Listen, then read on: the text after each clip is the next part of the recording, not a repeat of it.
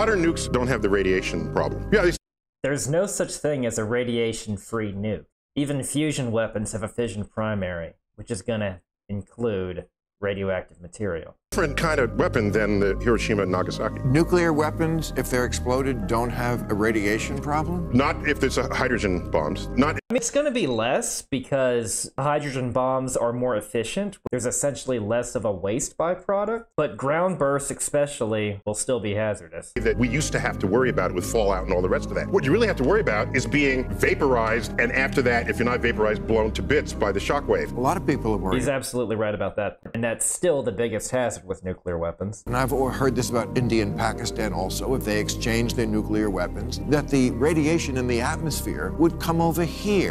No, not not in India and Pakistan. It really depends which way is the wind blowing, but it's not going to have that kind of range. And even if it does, it's going to be so diluted by the time it gets to the U.S. Go all over the world, even if it was just a local exchange. Now you're telling me that that is Well, not if a they, if they use fission bombs, yes, that would be the case. oh, for A fusion bomb has a fission bomb in it.